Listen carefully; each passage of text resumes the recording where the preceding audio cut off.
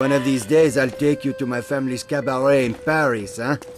Veronique was raised in the Belle de Nuit. Let's just say.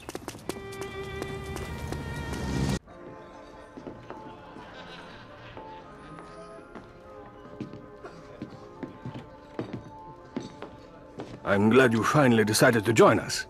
We took the scenic route. You run into any trouble?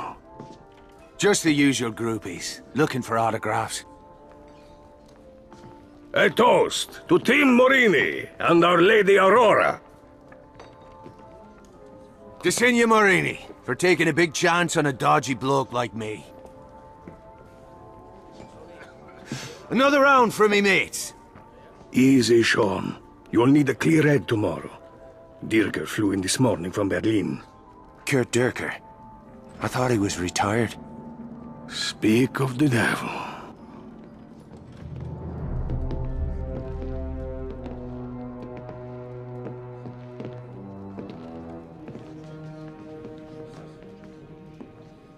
Guten Abend, Herr Morini.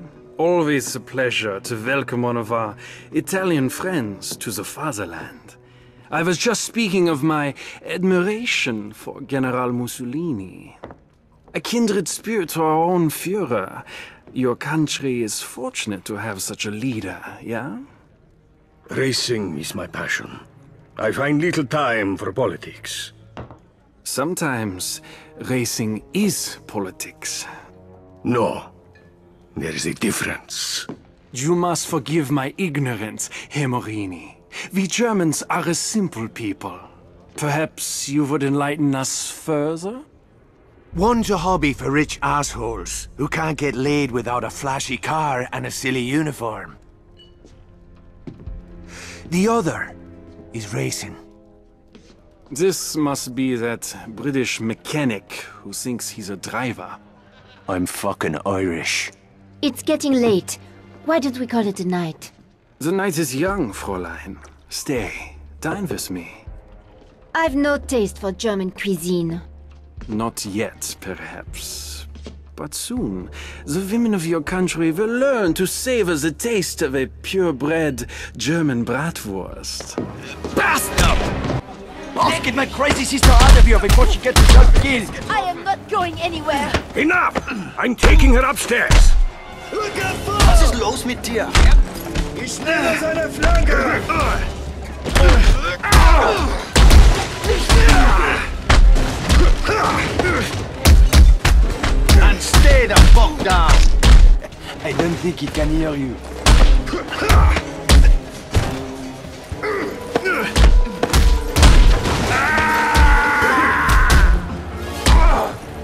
Pardon. Easy, mate. Save some for me.